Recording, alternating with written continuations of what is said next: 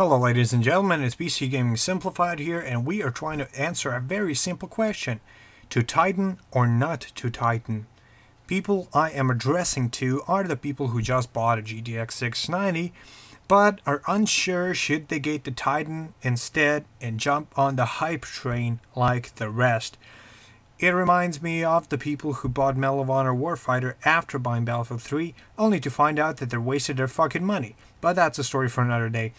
Today we'll cover two topics in two parts, GTX 690 versus Titan and GTX 680 SLI versus Titan. You can check all the specifications before we start right here. These were all taken from NVIDIA's site, so nothing you couldn't check yourself, but hey, it's nice to see it all being compared to each other in one place. So, let's go.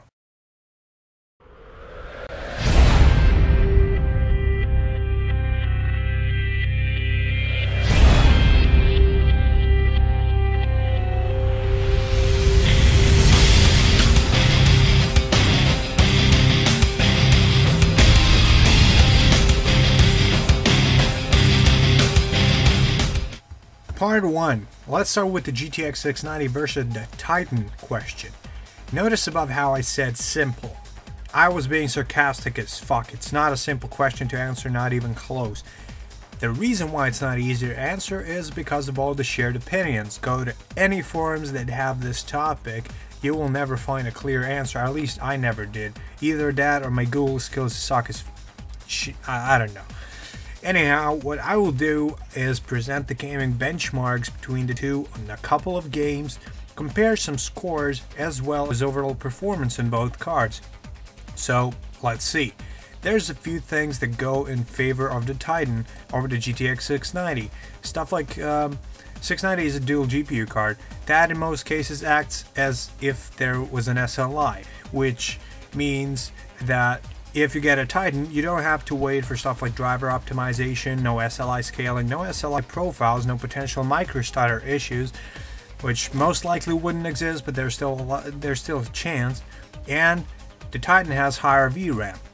As games get tougher, the gap between the 690 and the Titan may shrink. GTX 690 has 4 gigabytes of RAM, 2 gigabytes in each GPU. It's a dual GPU card. Titan on the other hand is a single GPU card so all these problems that come with the SLI including the heating problems are gone. Titan has 6GB of VRAM compared to the 4 on the 690 but more VRAM does not necessarily mean better performance as these images will show. Okay, look at these gaming benchmarks from uh, Hitman, Crysis, some other games, whatever. Now, a lot of people would expect Titan to be a stronger and a faster card, especially with all the hype on the internet these days. But the test shows something else. Now, unless I'm fucking blind, GTX 690 wins in most of these tests by 5 to 25%, which may come as a surprise to all of you who thought, well, hey, Titan is newer, more, more hyped, it must be faster, right? Well, most of the benchmarks show Titan being a little behind the GTX 690. Like I said, 5 to 25% doesn't matter. While on Crysis 3 benchmark, you can see right here, the GTX 690 completely obliterates the Titan.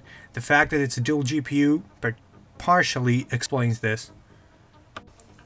Okay, so is it worth the upgrade? To be honest, if anything, it will be a downgrade and a waste of your money.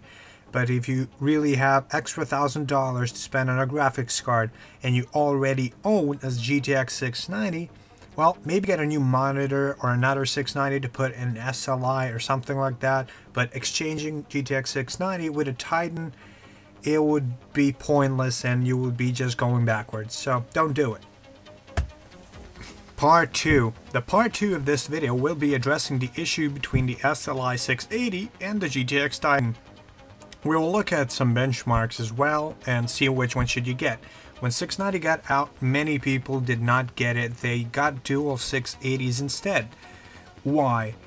They had common sense because it's almost $200 cheaper to get a 6 to, to get a 680 SLI and it offers from 10 to 20% better performance over the GTX 690 maybe even 30% more if you compare it to Titan so you if you have $800 to spend on graphics cards and you have a graphics card that needs to be replaced, you got good power supply, you got SLI motherboard.